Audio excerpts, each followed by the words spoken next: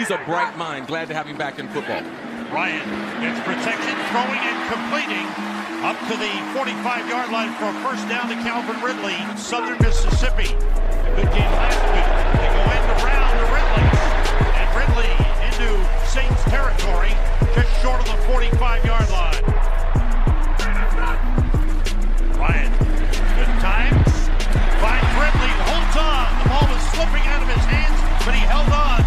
first down.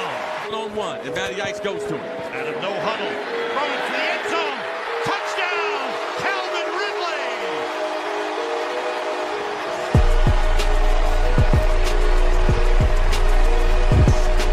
Coleman, the running back.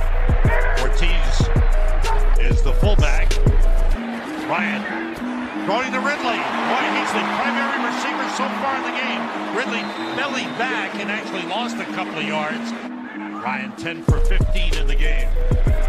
Throwing it deep for Ridley. He's got it. Breaks the tackle. And it's going all the way. Touchdown.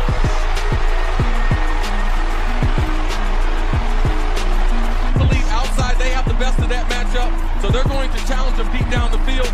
Matt Ryan throws a beautiful. Second and goal for the Falcons at the nine yard line. They were four for four in red zone tries last week against Carolina. Nobody open. Ryan buys some time. Throws. Ridley's got it. Who else? His third of the game. Wow. the quarterback doesn't have someone, try to find the lane to throw it.